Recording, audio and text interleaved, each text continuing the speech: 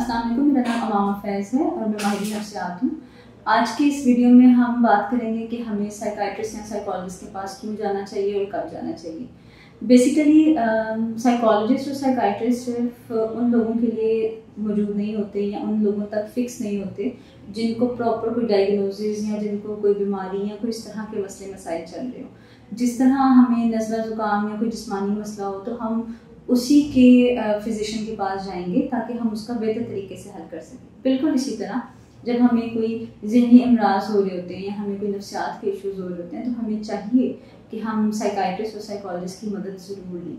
ये कोई स्टिग्मा नहीं है ये हम सब की ज़रूरत है ये, ये हम सब के लिए उतना ही इसेंशियल है जितना हमें सर दर्द हुए कोई जिस तरह हमने बात की कि जिस तरह बाकी लोगों के लिए ज़रूरी होता है कि हम जिस तरह की जो बीमारी है, उसी डॉक्टर के पास जाया जाए, बजाय इसके कि हम वेट करें कि ये चीज़ खुद ही हल हो जाएगी।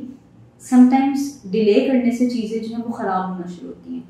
साइकाइट्रिस्ट या साइकोलॉजिस्ट के पास जाने के लिए ज़रूरी नहीं है कि आपको कोई बहुत बड़ा मसला या बहुत बड़ी कोई बीमारी हो, आप तभी जाएँ, क्योंकि डेली लाइफ स्ट्रेसर्स की वजह से एनजाइटी डिप्रेशन और adjustment issues low self esteem low confidence या कॉन्फिडेंस बिल्डिंग या काउंसलिंग के लिए स्पेशली स्पेशली काउंसलिंग के लिए, क्योंकि कभी कभी बहुत सारी चीज़ें सुन लेने से हल हो जाती हैं। साइकाइट्रिस्ट और साइकोलॉजिस्ट मदद आपको ये करते हैं कि वो आपकी सारी बात सुन के तस्वीर का दूसरा रुख आपको बेसिकली समटाइम्स बताने में उनको आसानी होती है, जिससे आपको या हमें या किसी भी इंसान को इंसाइट मिलती है कि मेरे ये इश्यूज़ हैं, उस पर ये काम किया जा सकता है और हमारे लिए सबसे इजी स्टेप क्या है लेने के लिए। क्योंकि समटाइम्स उस मसले में होने की वजह से हमें उसका हल नज़र नहीं आ रहा होता।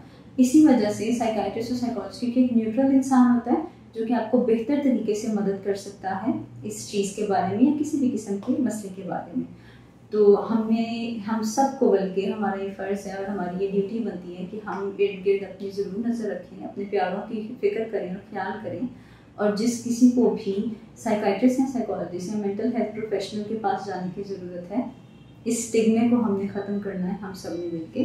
तो उम्मीद करती हूँ कि आपको ये वीडियो हेल्प करेगी इन अगली वीडियो तक के लिए इजाज़त दीजिए। अल्लाह हाफिज़।